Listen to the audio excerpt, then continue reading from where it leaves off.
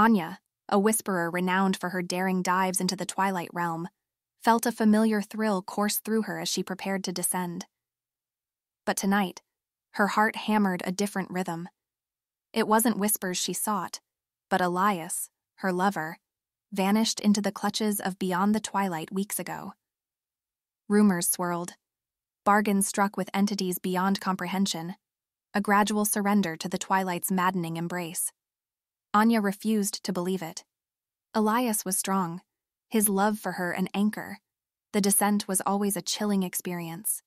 The air thickened, the familiar sense of Duskport replaced by a cloying sweetness that stung the nostrils. Reality itself seemed to warp, buildings leaning at impossible angles, shadows writhing with unseen life. She found him in a desolate square, a caricature of Elias.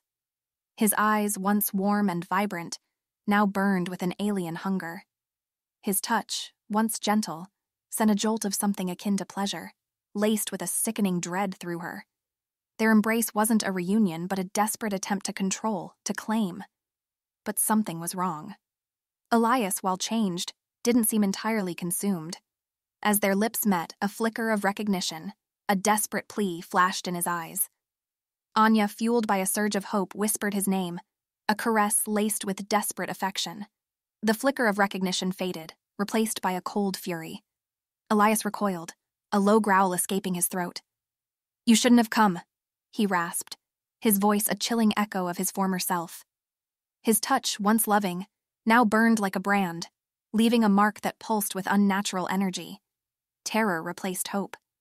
It wasn't the twilight that had taken him entirely, but something else, something clinging to him, leeching away his humanity. Panic fueled her desperate whisper, a plea for him to fight, to remember their love. The effect was the opposite of what she expected. A horrifying grin stretched across Elias's face. Love? He choked, the word distorted, almost alien. Love is a weakness, a shackle.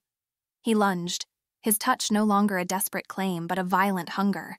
Anya fought back, a primal scream tearing from her throat. But it was a losing battle. The entity gripping Elias was far too strong.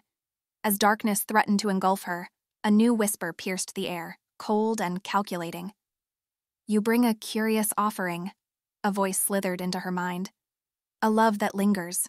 Perhaps it can be harnessed. The world dissolved into a horrifying kaleidoscope of sights and sounds. Through the pain, Anya saw Elias, his eyes vacant, a puppet controlled by an unseen hand. Then a chilling sensation a presence entering her very being, twisting the remnants of love into a horrifying hunger, a hunger that mirrored Elias's.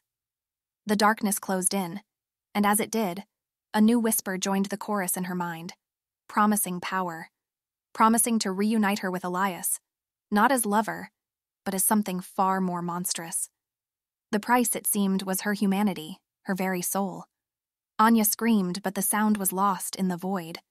The twilight had claimed another soul, not through seduction, but through a twisted mockery of love. Duskport might never know what happened to the whisperer who ventured too far. But the twilight, oh, the twilight knew. And it hungered for more.